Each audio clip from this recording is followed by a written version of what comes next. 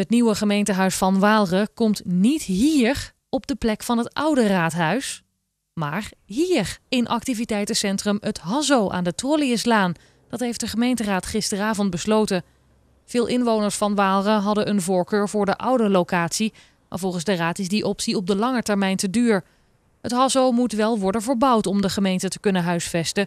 Daarvoor liggen nu twee mogelijke varianten op tafel: één met en één zonder theaterzaal. In 2016 moet het nieuwe gemeentehuis van Waalre klaar zijn.